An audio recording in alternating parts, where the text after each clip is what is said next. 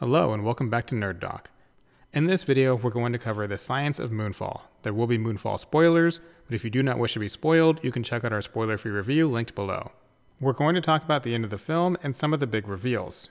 You can find details on all of that in our Moonfall plot and ending video, also linked below.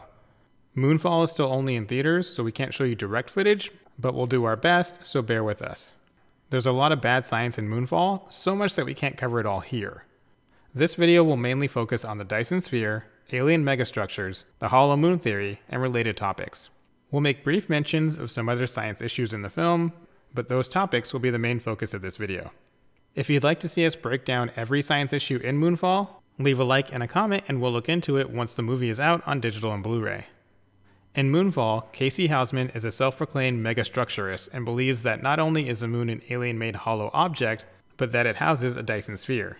Alien megastructures and Dyson spheres are basically one and the same. As a civilization grows, so do their power needs. Once a planet's resources have reached its limit, an alien civilization could harness the power of a star by surrounding it with what is essentially a massive solar panel array. Theoretically, an entire city could be built around a star, which is what the moon is in Moonfall. At the center of the moon in Moonfall, a Dyson sphere surrounds a white dwarf star. It makes sense that a white dwarf is used because it's estimated that over 97% of the stars in our galaxy will eventually become white dwarfs. This is the final evolutionary state of most stars. For instance, our own sun will eventually expand as it turns into a red giant, then after about a billion years, it will collapse into a white dwarf. Where Moonfall gets it wrong is that while a white dwarf is small, the smallest known white dwarf being slightly larger than our own moon, it would still have a mass of nearly equal to our own sun. Imagine if the sun were sitting in the same position as our moon. Just its gravity alone would have a very negative impact on Earth, assuming it could even survive a situation like that. Spoilers, it wouldn't. Even though the white dwarf in Moonfall is much smaller than any white dwarf we've actually found, the mass would still have much more impact on the Earth than what we experience now. And as the moon got closer, the Earth would be torn apart long before it ever reached our atmosphere. Also, most of the falling moon rocks that hit the Earth in Moonfall would be the equivalent of nuclear bombs instead of the small explosions we see in the film. In reality, most of those rocks would level a small city with ease. The hollow moon theory is a moderately popular conspiracy theory that has been around for a while. The H.G. Wells book, The First Men in the Moon, highlighted this theory in 1901. It's similar in nature to the hollow earth theory seen in science fiction as recently as Godzilla vs. King Kong.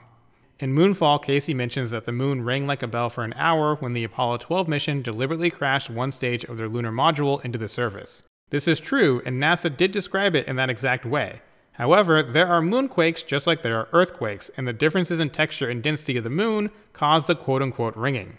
The moon is less dense than the Earth, which is another reason for the hollow moon theory, but some scientists believe this is because the moon was formed from the Earth's upper crust after a massive collision happened during the formation of the solar system.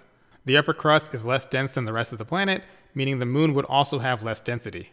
Finally, we come to the Fermi paradox and what happened to the alien civilization in Moonfall. The Fermi paradox basically says that if there are so many stars and planets out there, why haven't we come in contact or detected any kind of confirmed alien life in the universe? One theory as to why this is has to do with advanced technologies. The advanced tech required for interplanetary space travel is far beyond our current capabilities. We'll be lucky to have a small colony on Mars within the next few decades. We can't even begin to fathom sending humans to the far reaches of the solar system, let alone to the next closest star. By the time an alien race would have the technology to travel between stars, that same technology would have destroyed them. On Earth, some say that once we had the technology to create nuclear weapons, our days were already numbered. While that may or may not be true, AI is another concern, and that was the reason the alien civilization in Moonfall died off.